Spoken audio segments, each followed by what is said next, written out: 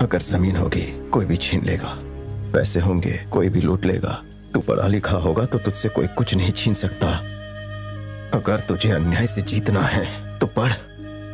पढ़ लिख कर एक ताकतवर इंसान बन।